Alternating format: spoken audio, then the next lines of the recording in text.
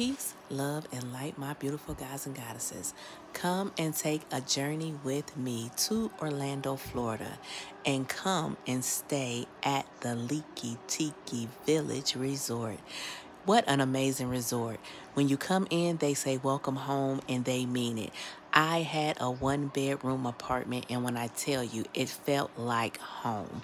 It came equipped with a full bathroom with a very large soaking tub that I truly enjoyed, wash machine and dryer. The living room had a pull out sofa bed.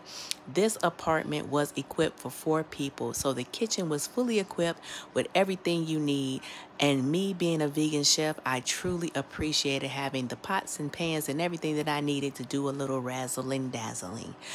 In the living room closet, it had an ironing board and an iron, so I didn't have to worry about my clothes being wrinkled. I was able to stay fresh to death. And then out on the patio, we were able to admire the full view of the swimming pool. And at night, we were able to see a beautiful night sky and also see the fireworks from Disney World.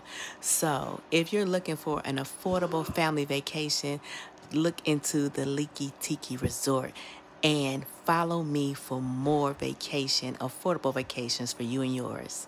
Peace.